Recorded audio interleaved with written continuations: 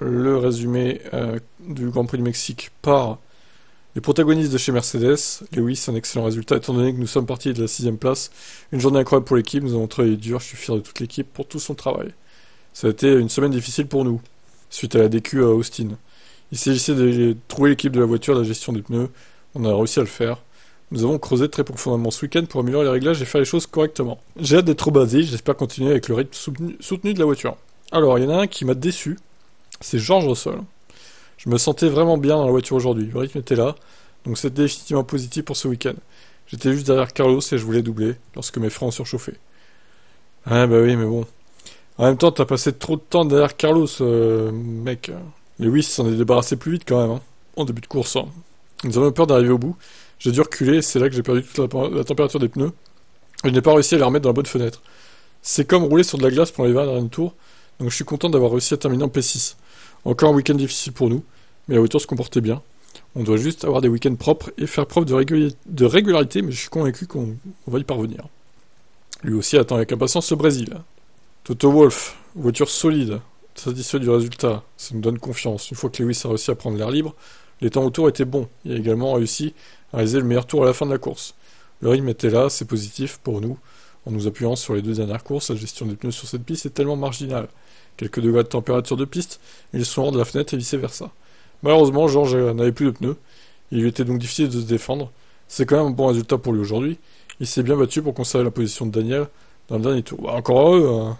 l'AlphaTauri quand même. Hein. Nous ne savons pas comment nous allons euh, performer au Brésil la semaine prochaine. Nous gardons les pieds sur terre. Bah, J'espère bien qu'ils vont gagner, hein. voilà, tout simplement, comme l'année dernière en fait. On vise la victoire hein, chez Mercedes au Brésil, hein. rien d'autre. Hein. Chauvelin, super pilotage de Lewis. On a connu une série de courses difficiles récemment, c'est vraiment encourageant de voir le rythme de la voiture. Surtout lors d'un week-end où nous avons perdu, où nous avons eu beaucoup de mal à passer dans la fenêtre. Georges était déçu de perdre la place face à Lando dans les phases finales, mais il était clairement beaucoup plus rapide que Carlos à la relance, et même s'il est facile avec le recul de dire que nous aurions dû le faire reculer et préserver les pneus, nous préférons être une équipe qui regarde vers l'avant dans les courses plutôt qui, qui regarde derrière. Nous n'avons pas eu un week-end facile ici. Ça a été difficile, très difficile de garder les pneus dans la bonne fenêtre.